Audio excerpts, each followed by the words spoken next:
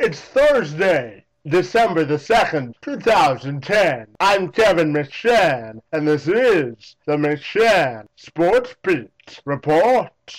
Ladies and gentlemen, let's get ready to rumble!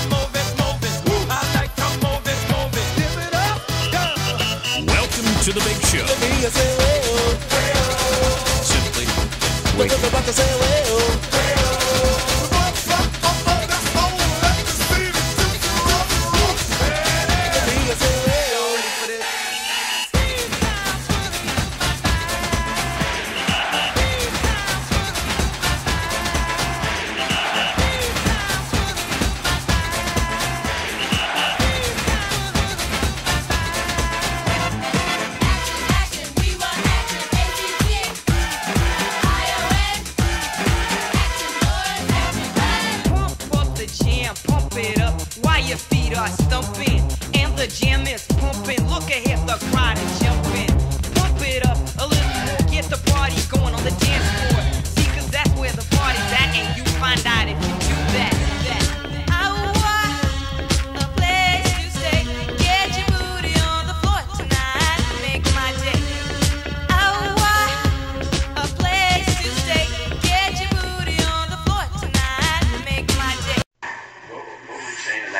in that where you were trying to be positive that was funny? And I, I don't mean this to be sarcastic or, or pointed, but I mean that went out on Monday night television. A lot of fans are talking about it right now as a big problem with this team. Can you put into context what was going on at that moment? What caused you? What Deuce and I talk about is nobody else's business. But why was something funny when you're down 18 points in the fourth quarter? It wasn't. It wasn't funny. I wasn't laughing about anything.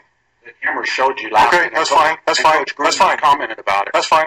That's fine. I'm not laughing about it. You think this is funny? I take serious. I'm not. I'm real serious. I I put my heart and soul into this every single week. All I'm saying is the camera showed I'm just telling you right now what I do every single week. Every single week, I put my freaking heart and soul into this. I study my ass off. I don't go out there and laugh. It's not funny. It's not fun. Nothing's funny to me. I don't want to go out there and get embarrassed on Monday Night Football in front of everybody. That's why I'm asking you what. I'm telling you right now, we're not. We're talking. Deuce and I are talking. What was the context in I'm done.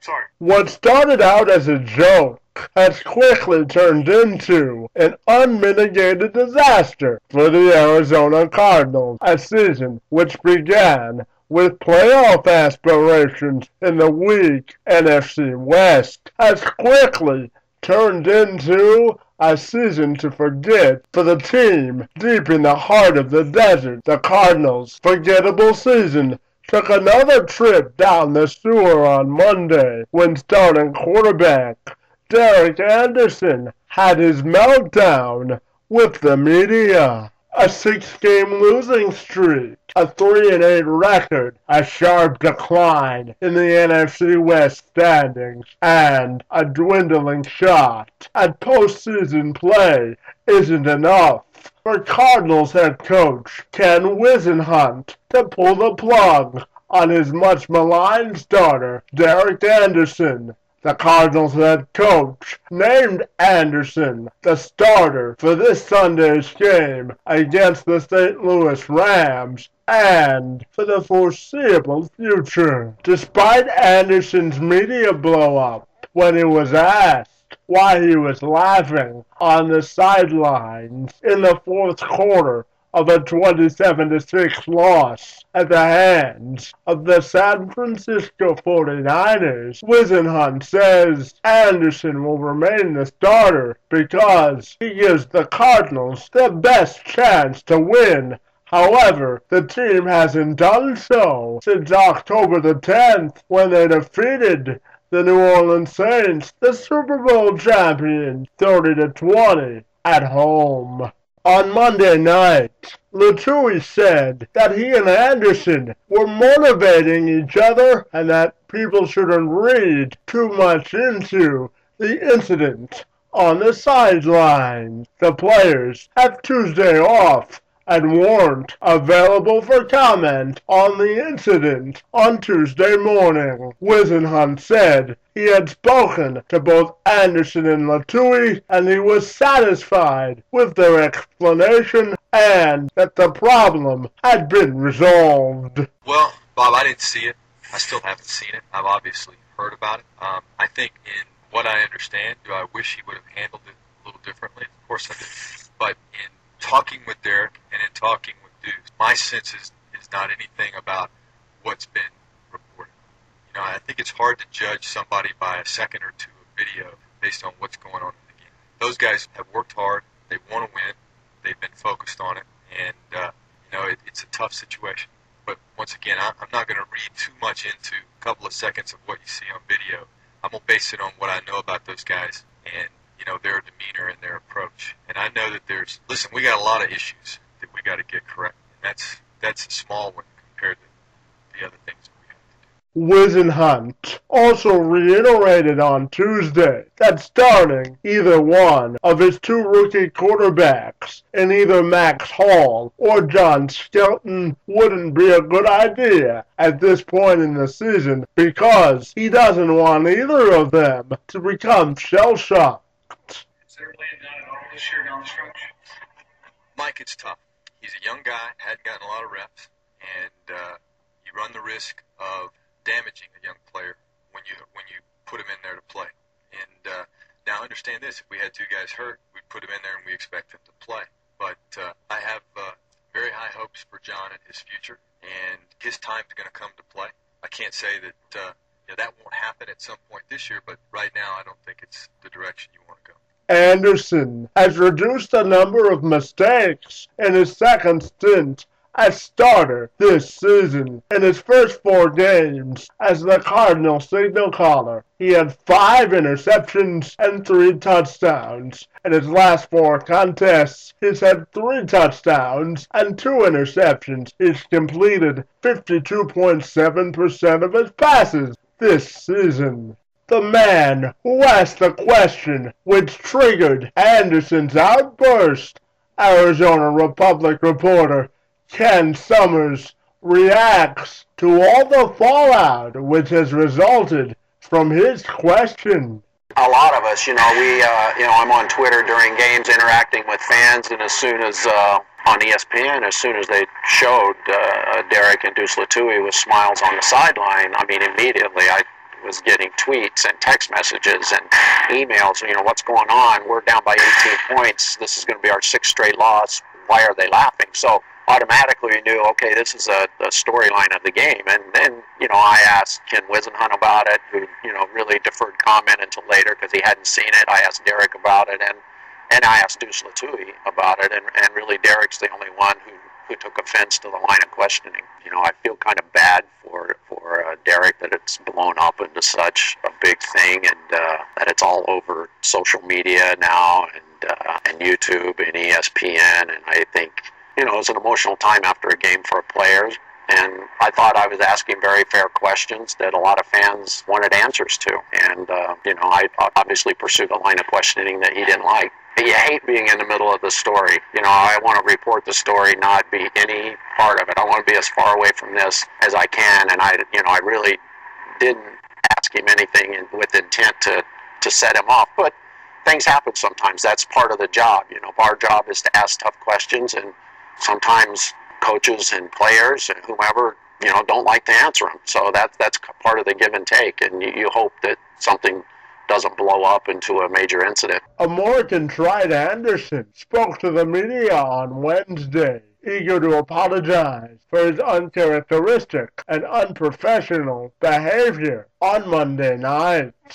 I'd like to, you know, first just uh, apologize for my actions uh, after the game.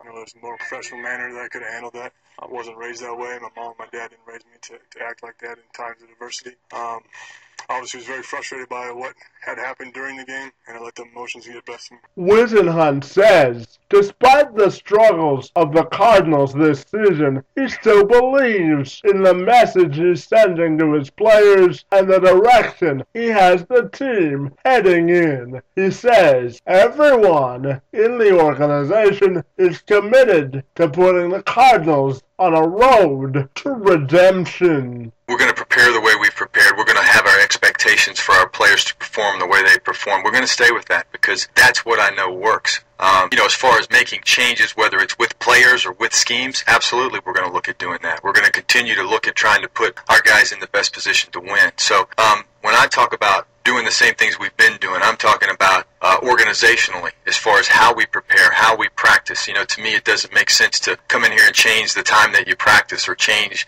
the routine of how you practice because that's really not what is really not what's the problem. The problem is we're not performing up to our expectations on game day.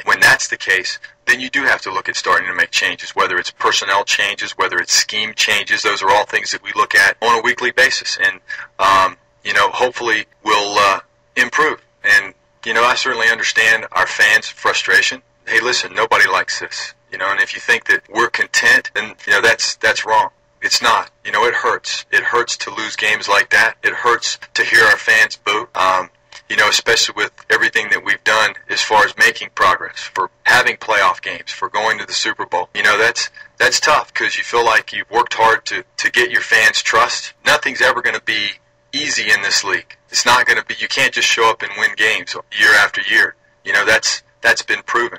We're working to try to get back to where we feel like we represent our city and our fans well, and we're going to do that. And uh, you know, not going to sit here and ask for patience because people pay money to come watch us play, and their expectations are that we do better than what we've done. I can just tell you that there's everybody here at this organization from top to bottom that is working to make sure that that happens, and I believe we're going to get it right. To suggest that the Cardinal season has gone to the birds this year would probably be one of the biggest understatements in the NFL in 2010. One of the main reasons for their lack of success this year, besides their leaky defense, is their instability at the quarterback position. We've seen the ping pong act between the stylings of Max Hall, the rookie, and the variety hour that is Derek Anderson all season long, neither of whom have proven worthy of the starting job in Arizona on a long-term basis. With that in mind, priority one for Ken Whisenhunt, Rod Graves, the general manager of the team, and the rest